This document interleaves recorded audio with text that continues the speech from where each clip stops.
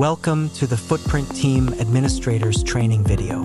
This tutorial is designed to help you access the members menu and copy current members to your competition team.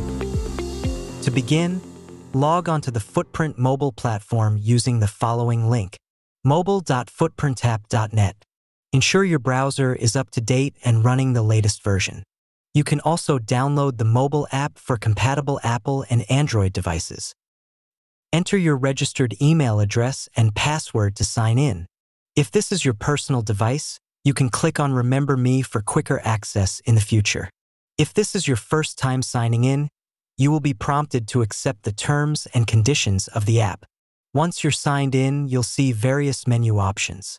If you're using the web version, the menus will appear on the left-hand side.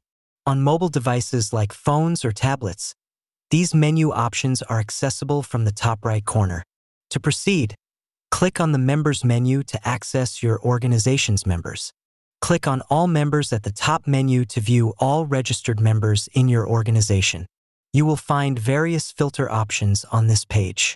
For this tutorial, select the player option in the category filter. You can also specify the gender to narrow down results. Other filter options can be ignored for now. If you are searching for a specific player, you can enter their surname or, for greater accuracy, their ID number in the search bar. This is particularly helpful for organizations with a large number of registered members. Once done, click on Apply Filter. To start copying players, select them by clicking on the checkbox next to their name. You can select multiple players across multiple pages, and the system will save your selections even as you navigate between pages. Once you've finished selecting players, click on the options icon located below the Apply Filter button. A list of team options will appear.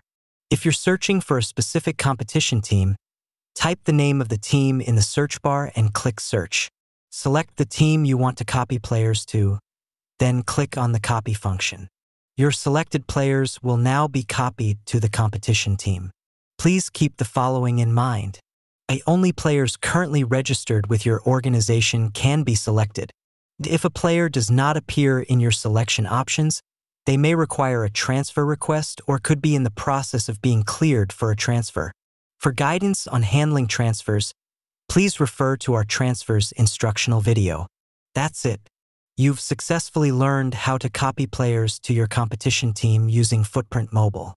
Happy team management, and best of luck with your competitions.